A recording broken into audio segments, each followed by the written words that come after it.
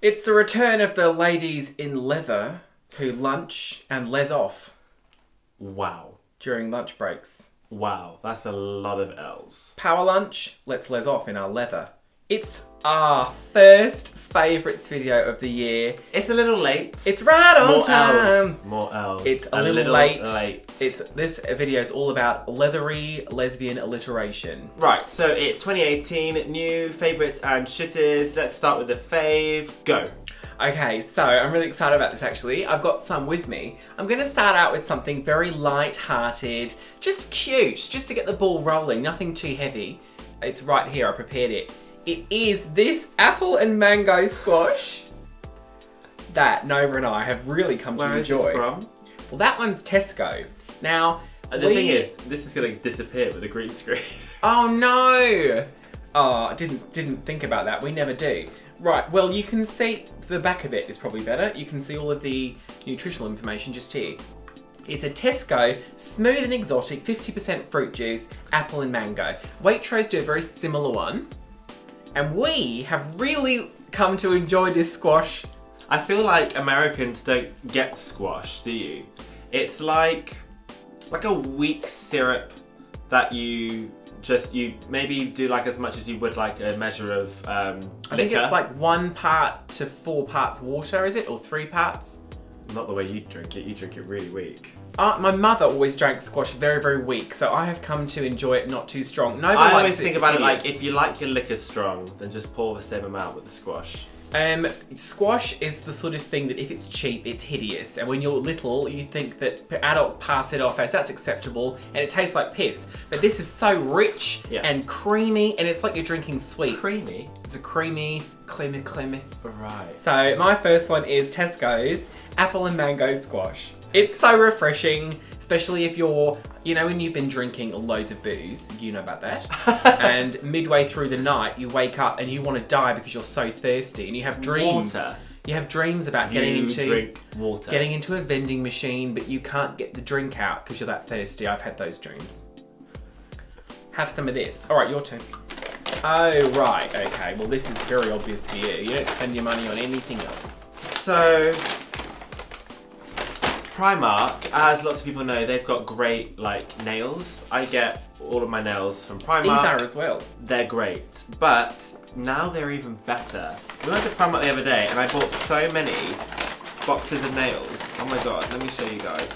So now they do like fancier ones. Normally they're like £2 a box, and now for £3.50 you can get unicorn nails with jemmies on them. How fun. Um, throw it down. precious jewel nails. How fun. Ah, precious jewels, jewelly jewels, fanny jewels, More precious jewels. more precious fanny. mermaid nails, which are like a lovely chrome. And like my favourite ones, and I hope that they do some more in this series. They've done like a collaboration with Disney, um, and these are even cheaper. These are only three pounds, but they've got some little mermaid nails. Which, Alright, well, where are you? Where are you? You, you stick in front of the lens. I went into How Primark. cool are they? They're amazing. They are very cheap, they are very good, and the designs are great. They're very sort of, you know, durable. I went in once and picked up what I thought was the most ghastly pair of nails, and I was about to go over to Nova and be like, oh my god, look at these, they're so hideous. She had them in her basket. What were they? They were those square, square letto nails are not a thing, Primark. Stop trying to make square letto happen. okay. It's like a stiletto, but then the end's been cut off crudely, like they've been trapped in a door. I quite like it. No, it's ugly as you like. But yeah, well done, that was a great one. Um, but yeah, so yeah, Primark nails. So, Great. shitters. My first shitter is going to be this charcoal toothpaste. Okay, but you just bought two more tubes of it today. Well, if you'll let me explain, Nova, I bought one and it was buy one get one free. That's the other one. Right. But it doesn't work so why did you buy more? because you still have to brush your teeth. Well, It's then just buy something else. It's fine toothpaste, but this is this is the gag. This has got activated charcoal in it, which activated charcoal is as, as useful as Nova's clammy asshole when it comes to brushing your teeth. It doesn't Why? it doesn't whiten your teeth. You see all these Instagram fuckers like activated charcoal is the best thing since sliced bread. We got that bread downstairs. But this doesn't make your teeth whiter. I know what you're thinking. Oh my god, Olympia, you've got the most gorgeous teeth. Thank you. Stop kissing my ass. But it's because I've got black lipstick on, and it makes them look whiter. Nova's got purple lipstick So on. my teeth probably look quite yellow. Yellow, so yellow, I can't believe it's not butter. So, that's, so this is a non-branded, oh, it's Superdrug. Yeah. That's why it's shit, because it's Superdrug. I thought it was a brand, like charcoal brand.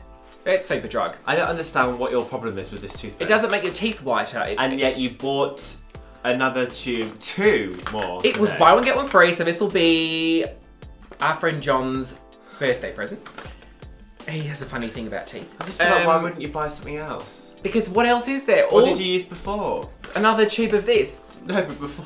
I use Arm and Hammer, but Well, that why didn't you just get that? because that doesn't make my teeth whiter either.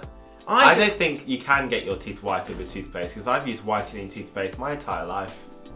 I don't Oh, think it bitch, where? I don't think it works. No, it doesn't work. So up yours to toothpaste. Right. So one of my favourite shows has been cancelled and I'm really upset and it's Once Upon a Time. I'm really Well. upset. I love this show. It's had its ups and downs. I understand that it's lost a big load of its like viewership uh, because it has been going on for a very very long time. Um, but I felt like a lot of the fans thought that it should have ended at the end of last season because it kind of did tie everything up. I don't know. This season I think is amazing. They've tried to revamp it all. They've lost half of the cast, but the way they've spun that is very clever. They've jumped forward in time. They've got new characters, and it feels like a new show. And I'm really upset because I love this new format. I love the new show. Do you know what was the problem I'm with Once Upon a. Time? Is every single episode that stupid smug bitch. What is she called? Lana Parrilla. What's she called? The Regina, Yeah. she's the best. Every fucking episode it would be, I've got his heart. And now I will destroy Storybrooke. No, but she's good now. And then it was, I will get his heart back and then return to destroy Story. but she's it good was the same shit No. over and over again. She always got her way, and it was just regurgitated. Oh, well, we'll just introduce like Aladdin or something. No one likes Aladdin's. No one's favourite. Do you know what though? I do like the theme tune. no, you're not allowed to like it.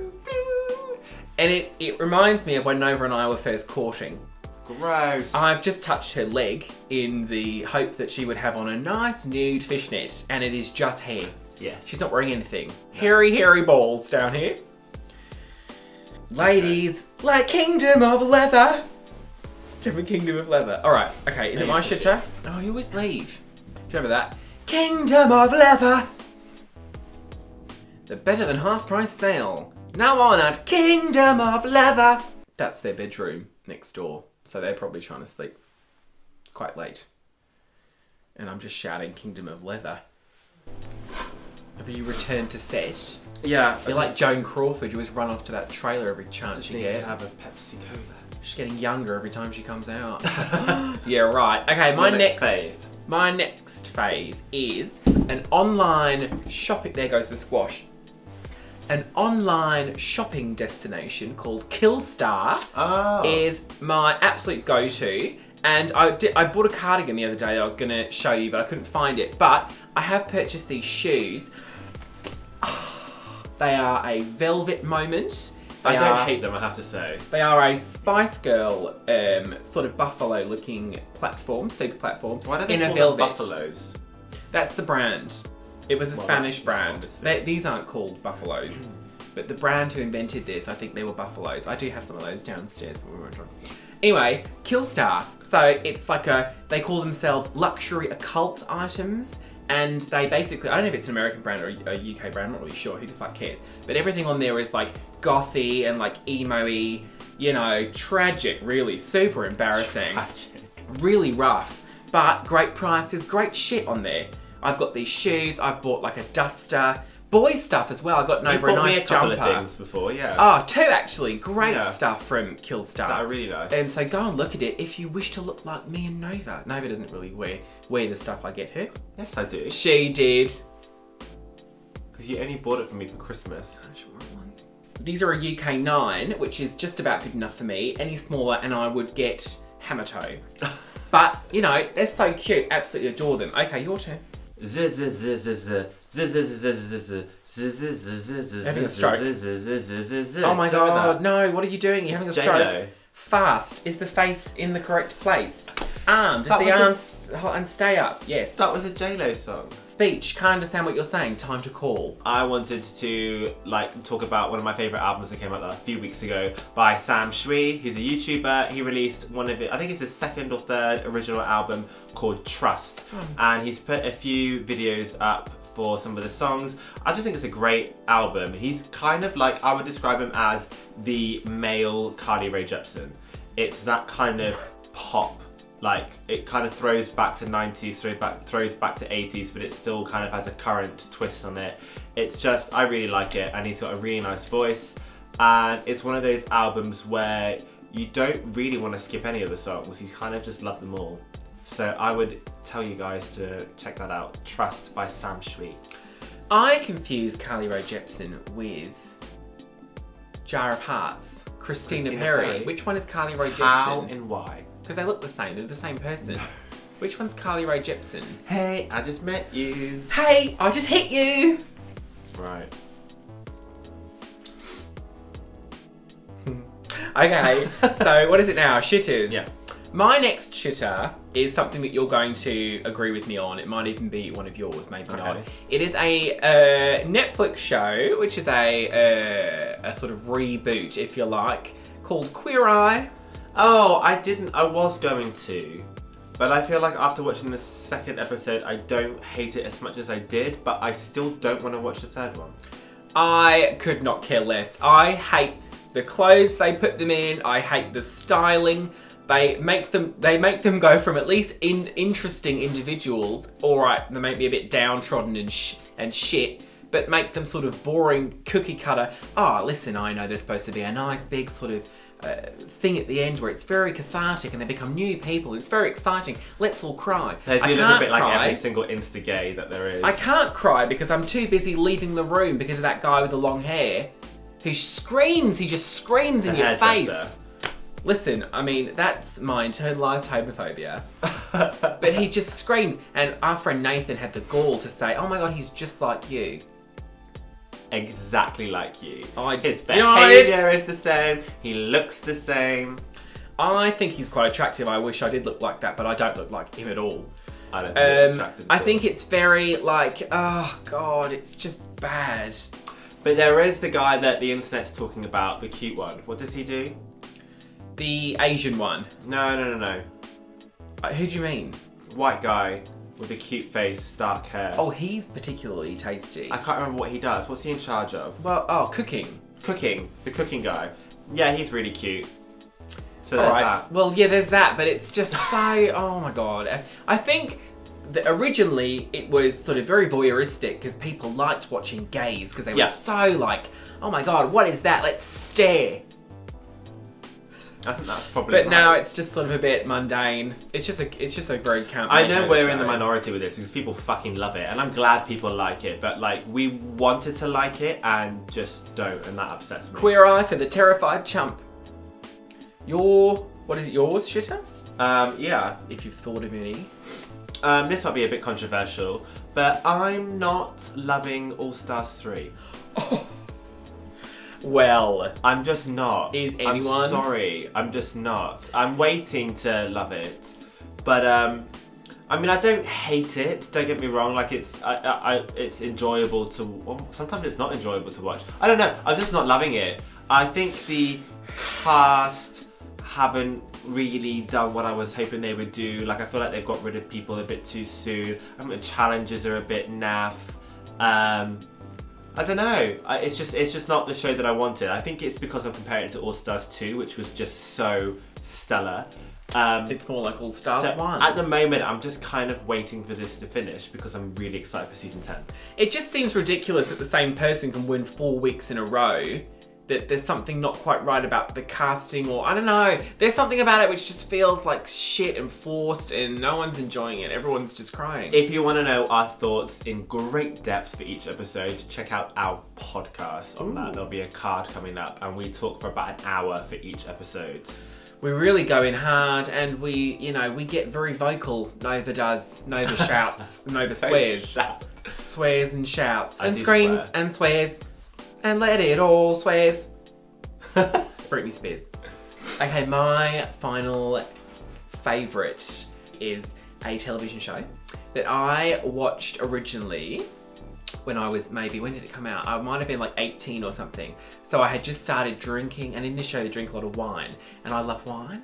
So I started really drinking. This show's to blame for that actually, my mother and this show for my wine drinking habits. What is it? I used to, you know, take some take some days off because when you're 18 you don't really do anything. You left school but you got a summer to yourself. So I was just drinking wine and you know really finding myself. And it's brothers and sisters. Oh. So oh yeah, they do drink a lot of wine, don't they? Because Well, it's they have a vineyard. They do have a vineyard somewhere through, spoiler alert, somewhere through. But this is a show that was on ABC, I think it was. Was it ABC? Yes. Um, Yeah. And it, it ran from about 2000 and... There's too many um, gays in that to show on any other 2000 network.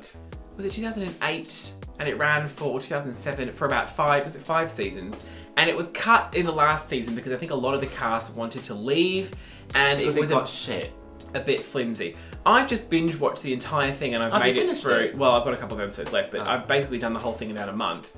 And when you watch it through solidly, it is quite miserable. There's a lot of people. I watched this when it aired and I gave up towards the end because it became so depressing. All they do is argue. People get killed off for no reason. People have like cancer and stuff. They, They everyone's just miserable. People go to war and it's just lots of death and crying and fighting. My favourite character obviously is Nora. She's she's the mother. So basically, it's it's um, uh, Sally Field is Nora. She's the mother, and then there's all these brothers and sisters, and they're a great big family, and they have all these arguments and dinners and fights and stuff, and they all make up again. It's great. Um, all of the children, the brothers and sisters individually, they are irritating as you like. It's like being in an actual family because you sort of like them all, but individually. The worst are Rebecca and Justin. Rebecca was the whiniest, most miserable fucking Is she turd. the one who went on um, her own show? She is played by Emily Van Camp, and Yeah. then she uh, Revenge, was her Revenge. show. She was also in The Ring Two. Top tip. But she was so miserable the whole way through. So there's a lot of issues with it. But it's just so cute. The music and the wine, and it's like Pasadena. Like you know, I do want to live there. you want that Yeah. lifestyle. You want to live in a huge wooden house. I want all of my arguments to be about the fact that I'm losing some of my millions. yes. Do you know what I mean? Like if that was your biggest problem, all I want to do is is come home and and Holly Harper, played by Patricia Wettig, Wettig, is in your kitchen and she turns to you and she just says, "I am giving you oh high food." I love doing that that. was a very obscure, specific impression. They all they very- ever do is say, Very niche audience. "This is a family business." yeah, they do Oh, high food, family business. Anyway, um, it's shit, but it's but the best thing ever. My last fave is a video game I recently finished and tweeted about called Life is Strange. I know I'm very, very late to the party Did you this. say I tweeted about? Yeah. It's adorable. I know I'm very late to the party with this. It was developed by um, Dontnod Entertainment, and I think Square Enix helped to like bring that, birth it out into the world. Um, and it was originally a five-part downloadable game, and I think because of its popularity, it was repackaged into a physical like disc. So I've got the physical copy. It's available on Steam, 360, PS3, PS4, like basically everything.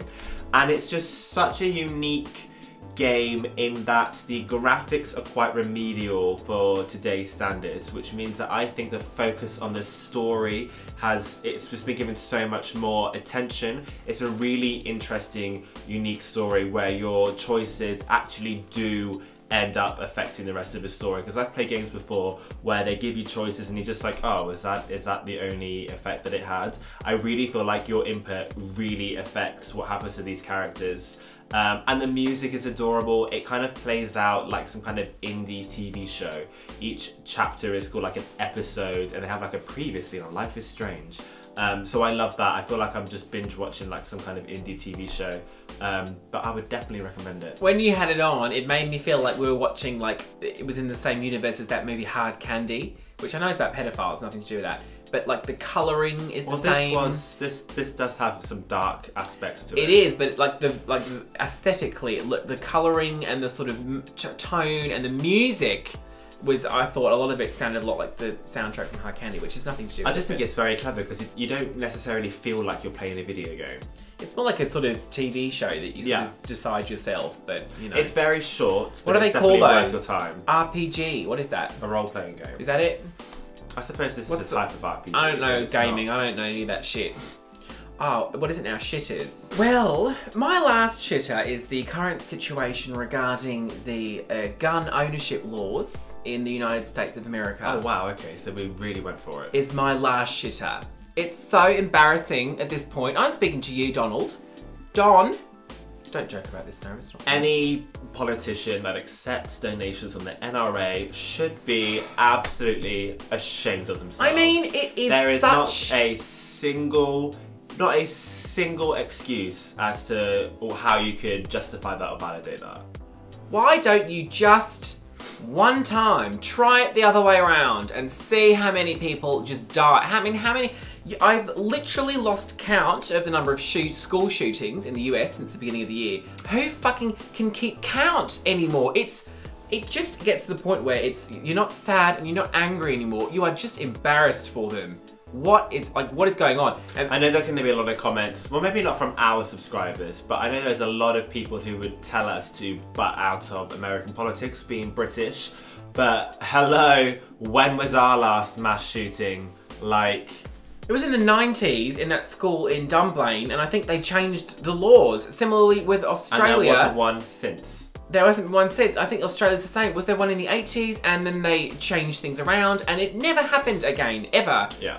And it, this happens like every day. It's just. And to say it's a mental health problem, this isn't a mental health problem because if a mental health, if someone with mental health problems was going to act out, you would much rather it was with a knife instead of an assault rifle. Do you know what I mean? Like if that's the case, it's still a gun issue because if he didn't have a gun, he wouldn't be able to cause all of this absolute tragedy. It's just bizarre that they they feel like uh, a lot of Americans who would be for this feel like there is this enemy that is I mean the Trump administration has completely whipped up this paranoia and fear that was there anyway but to the point that you know people have this enemy in their head that someone's going to come in and murder their family in their sleep which is And they're just gonna be such brown. it's just such a fake kind of threat because the real threat is the people that get hold of the guns that you're using to defend yourself against the fucking threat that isn't there. And statistically, it's very nice to point out as well that I think the percentage chance of a person who guns down a school of being a white cisgender man is like astronomical because these people aren't foreigners. These people are white. They are male. They're Americans, and these are the people killing people. So it's pretty shoddy. It's not going to change. There is a protest being planned, isn't there, on the 20th of April. Oh, and a lot of, well, how can it not do anything? A lot of staff and a lot of students Oh, I see what you are mean. planning to not attend school. And I think that is a fantastic thing to Don't do. do it. Because what are they going to do? Are they going to suspend all of you? I think you guys, if, in America, if you're a student watching this, I would never normally, Stay home. I would never normally encourage this, but I think to take it is it's your responsibility. If you care about your safety and if you care about the lives of your peers, you should stay at home. You shouldn't be going to school on the 20th of April, and that can really show the strength of numbers and staff members as well. I think teachers should really participate in this as well. It's so ah, you can't even get your head around the state of the world. Nova, What? we've come to a screeching halt in this video, and I know you've got you've got your shitter, but we should just end it there. We should just Why? not let you have your time because we want to. We want to. No, I'm just kidding. You should have yours. Well, I do feel kind of shit now because mine is so Well, no, I unbelievably trivial. yeah, but that's great because then we'll end on a high note or a fun note. Okay, How Well- trivial is it? it's very trivial. We'll go on how trivial. This is like literal first world problems. Um, I'm really, really upset that we don't get to experience peach flavored Coca Cola. What is that a thing? It's a thing in Japan. And I've seen on my Facebook a bunch of YouTubers reviewing it, people shipping it over from Japan. Um, I want to try that. The bottle is peach coloured, and I don't think it's even like the kind of caramel coloured. I think it looks almost a bit like like it's a lighter colour, like it's clear. I really want to try that. I wouldn't trust it. You know what they I do? really do you know what they do in. Japan? This is true. I heard this. Is a businessman can take a short lunch break, go into a cabin in the woods, and be provided with the company of a young lady for a short while, whereby she will be wearing a sheer stocking What are you talking about? and the gentleman might sort of kneel on a very simple rush mat, and the lady will fart on his face directly on and up his nostril. This is racist. I have video evidence somewhere on the internet. I'll find this. I'll link you to it. That this happens. So she farts up his nose, and then he goes back to work. That's just not a thing. Japan, everyone. I don't. I wouldn't trust that peach coke. No, if you don't know what's in it. Anyway, I really want to try it, and I'm hoping that we get a chance. I hope it comes over here. Maybe they'll have it in like Chinatown or something. You know those little candy shops do in Those- Chinatown. Yeah, I, I would really love that actually because peaches are the best. Yeah, see, I really want that. What else is in the teachers of peaches? Oh yeah, wash. What? Peaches, you know the singer Peaches. Suck it on my titties like you wanted it, calling me all the time. I'm not familiar. what else is it? Okay, is Fuck. that the end of the video? Yeah, thanks for Right. coming, everyone. um, all our social media is in the description box below. Please subscribe to our channel and share with your friends. oh, please subscribe. It's going on for too long now that no one knows us. What are some of your favourite ways of telling friends to subscribe to us to get the numbers up? Okay, Share that too. bye then. I will find that Japanese video. You're not going to stop it. Oh. Alright.